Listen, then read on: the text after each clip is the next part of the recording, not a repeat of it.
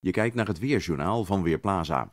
Weinig bewolking, maar hier en daar nog net een wolkenflatje waar de zon in de ochtend al makkelijk doorheen of omheen schijnt. Ziet er vriendelijk uit en dat blijft het ook.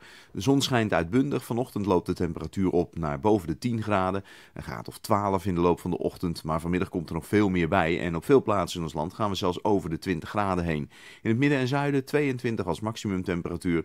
Met volop zonneschijn, hier en daar wat vriendelijke bewolking. Wel een matige, in het Waddengebied soms vrij krachtige wind uit het oosten. Windkracht 4 tot 5. Wat wind betreft verandert er vanavond weinig. Wat weerbeeld betreft ook niet. De temperatuur gaat uiteraard wel iets omlaag. Maar morgen gaan we gewoon weer volop in de plus.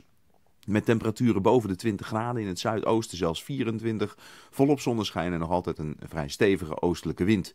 Voor de dagen die volgen verandert nog altijd heel weinig. Want voor de zaterdag is het zonnig, voor de zondag is het zonnig. En maandag komt er dan voorzichtig iets meer bewolking, vooral in het zuiden van het land. Met een beetje geluk halen we zaterdag hier en daar de 25 graden.